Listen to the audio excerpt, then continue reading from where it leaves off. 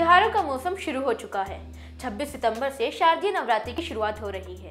इसी दौरान पूरे नौ दिनों तक माँ दुर्गा के नौ स्वरूपों की उपासना की जाती है। लोग अपने घरों में घट स्थापना करते हैं। जगह जगह माता के पंडाल सजाए जाते हैं। मंदिरों में भव्य सजावट की जाती है।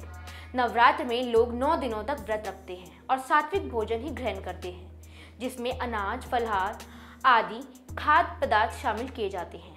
लेकिन वहीं जो लोग व्रत नहीं रखते, वो भी मांस, मदिरा, लहसुन, प्याज आदि का त्याग कर सात्विक भोजन ही ग्रहण करते हैं। लेकिन क्या आप नवरात्र में लहसुन, प्याज ना खाने का कारण जानते हैं? अगर नहीं तो आइए, हम आज आपको इसके कारणों के बारे में बताते हैं। नमस्कार, मैं कनिका बंसल, आप सभी का स्वागत करती हूँ न्यूज़ रूम पोस्ट में। सनातन धर्म में किसी भी पूजा पाठ के दौरान लहसुन, प्याज खाना वर्जित माना जाता है। कहा जाता है कि जब देवताओं और असुरों के बीच समुद्र मंथन हो रहा था तो उसमें नौ रत्नों के निकलने के बाद अंत में अमृत की उत्पत्ति हुई थी। इस अमृत को देवताओं में समान रूप से बांटने के लिए भगवान विष्णु ने मोहिनी रूप धारण किया था। उसी दौरान दो दानव, राहु केतु ने देवताओं का रूप धारण कर अमृत पान कर लिया था। भगवान विष्णु को इस बात का आभास होते ही उन्होंने सुदर्शन चक्र से उन दानवों का सिर धड़ से अलग कर दिया।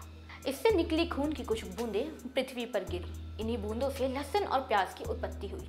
लहसुन प्याज से तीखी गंध आने का भी यही मुख्य कारण है।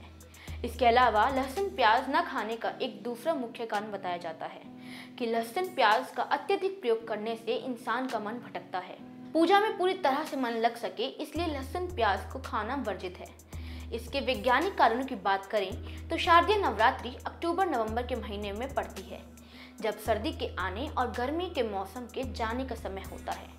मौसम का ये बदलाव शरीर की इम्यूनिटी को कमज़ोर करता है। लेकिन वहीं सात्विक भोजन के सेवन से डाइजेशन तो ठीक रहता ही है। बॉडी भी डिटॉक्स होती है। आज की वीडियो में इतना ही। अगर आपको ये वीडियो पसंद आई हो तो लाइक करें शेयर करें कमेंट करें। और अगर अभी तक आपने हमारे चैनल को सब्सक्राइब नहीं किया है तो सब्सक्राइब करें। धन्यवाद।